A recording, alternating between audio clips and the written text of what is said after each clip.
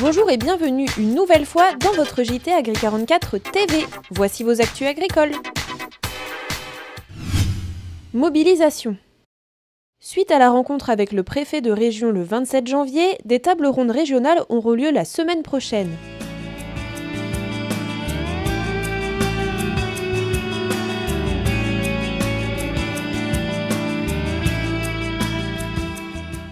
Selon JA44 et la FNSEA 44, il est primordial que tous les invités soient présents pour trouver des solutions à la crise. Dans la nuit de mercredi 10 à jeudi 11 février, les deux syndicats ont voulu passer un message aux GMS, aux abattoirs et aux transformateurs en ce sens. Les différentes devantures ont été placardées de messages les incitant à se rendre aux tables rondes. CUMA la section de Loire-Atlantique de l'Union des CUMA des Pays de la Loire a tenu son assemblée générale le 4 février dernier à Saint-Hilaire-de-Chaléon. Devant une salle comble, différents responsables de la section départementale et de l'Union régionale ont souligné que les CUMA sont des outils qui participent pleinement à l'évolution de l'agriculture. La particularité des CUMA de Loire-Atlantique est de compter de nombreux salariés, une forme de réponse aux besoins de main-d'œuvre des adhérents. Des formations sont organisées pour faire évoluer leurs compétences, tandis que les responsables de CUMA se forment eux aussi de plus en plus à exercer leur rôle d'employeur. L'importance du travail en réseau, grâce à l'union régionale, a été rappelée, tout comme les valeurs de solidarité et de proximité qui portent les CUMA depuis 70 ans. Méthanisation. Le salon Biogaz 2016 s'est tenu à Nantes les 27 et 28 janvier dernier. Lors de la matinée d'ouverture, plusieurs conférenciers ont évoqué toutes les possibilités qui s'ouvrent à cette énergie propre. On est très attaché aujourd'hui au développement des formations. Donc on a beaucoup travaillé en 2015 sur le parcours de formation des futurs méthaniseurs avec un souci de, tutorat entre des expérimentés et des, nouveaux, euh, et des nouveaux porteurs de projets. Certes, les démarrages de la filière ont été parfois un peu difficiles, mais les enseignements semblent en avoir été tirés. Et aujourd'hui, la filière se professionnalise et se structure. L'important, c'est faciliter le dialogue entre tous les acteurs de la filière. Et ça, c'est très important pour une filière jeune de pouvoir euh, discuter avec les ministères et d'adapter, euh, d'avoir un retour d'expérience en direct et d'adapter les, les mécanismes en question. L'avenir du biogaz comme carburant pour les véhicules semble particulièrement prometteur y compris pour les tracteurs, même si actuellement, ils ne disposent que de 3 à 5 heures d'autonomie. À partir du moment où une station est raccordée au réseau de GRDF ou de GRT Gaz, eh bien, elle, peut avoir, euh, elle peut avoir accès au, au biogaz. Il est clair en tout cas que les agriculteurs, en tant que fournisseurs principaux de la ressource, ont un rôle central à jouer dans cette filière. Plusieurs entreprises de Loire-Atlantique étaient présentes cette année, dont Xergy de Bouey et Naoden de Nantes.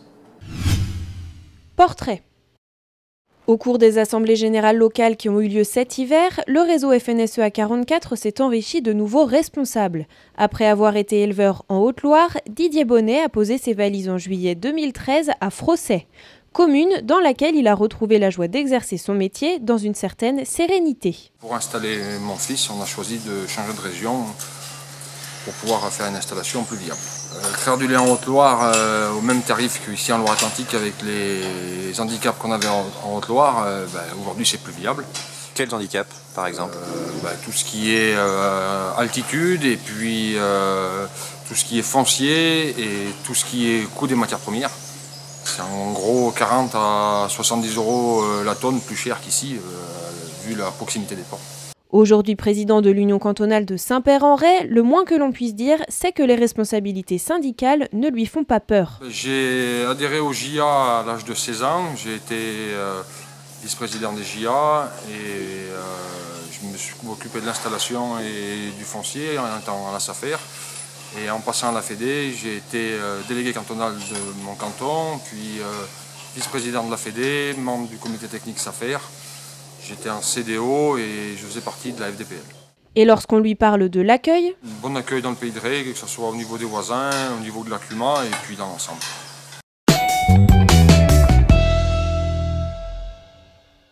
Comment consulter mon dossier SNA sur Télépac?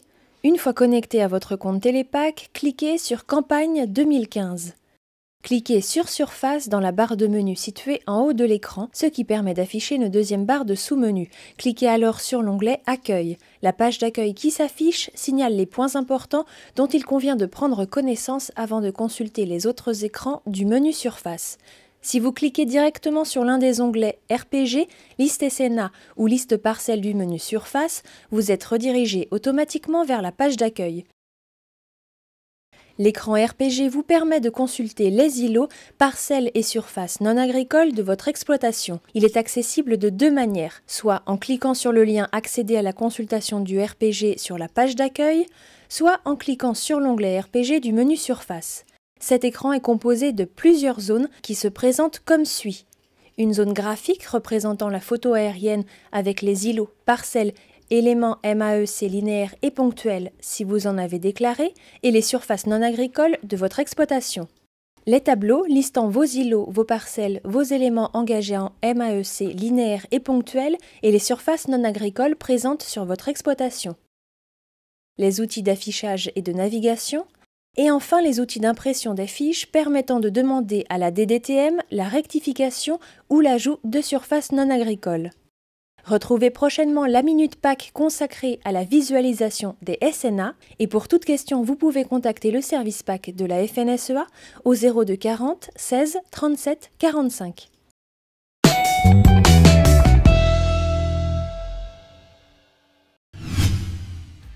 Le JT est terminé, merci pour votre fidélité et je vous donne rendez-vous vendredi prochain.